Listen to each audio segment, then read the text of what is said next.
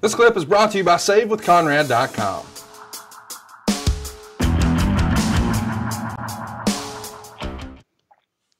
We should also mention that uh, as we're having lots of talent come into the company, unfortunately, we're seeing some talent come out of the company, or at least off camera. On February 6th, Jason Jordan would have neck surgery for a herniated disc.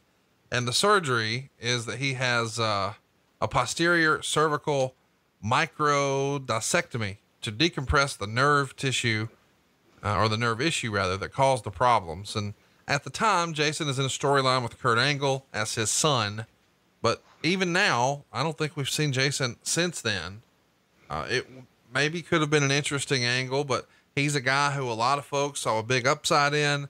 At the time, he was uh, recently off a tag team with Chad Gable. Did you work with Jason at all? What do you think his upside could have been? I worked with him uh, under both circumstances that you know as a performer. And then when he got hurt they wanted to put him in the producer chair. So he got to come to some meetings and sit in with me on some matches. I got to know where his head was at. Him and gable were a great team. Yes they were they were damn good and they could have been pushed to incredible heights because they were legitimate number one amateur wrestlers. My god gable was olympian. And and Jason had a lot of success as an amateur, but you know more importantly they were a really really good team. But when Jason when his neck started bothering him, you can use all that all that highfalutin uh, terminology you just used, which was uh, very impressive, by the way. All those medical issues all come down to this: he developed a bad neck when you get a bad neck in this business, I'm the first one that can tell you everything else starts to fall in line with the bad neck. He had the grip issues that I had. He's, you know, right by the thumb and the first finger, that indention started to make its way.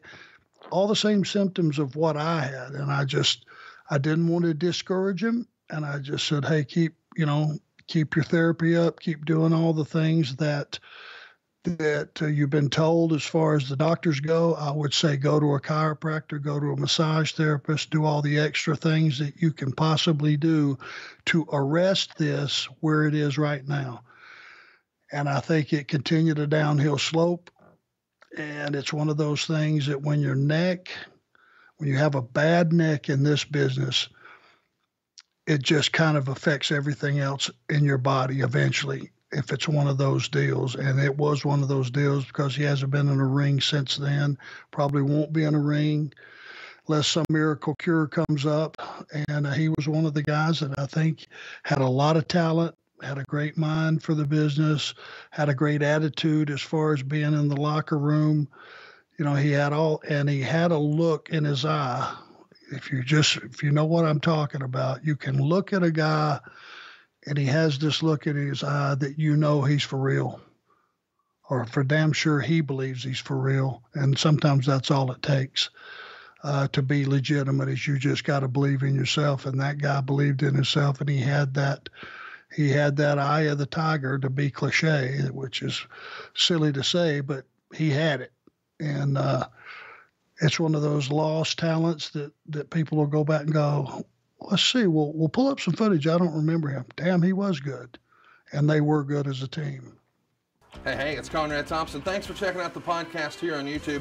Be sure to hit the subscribe button and the notifications bell so you get a notice anytime we upload some new content.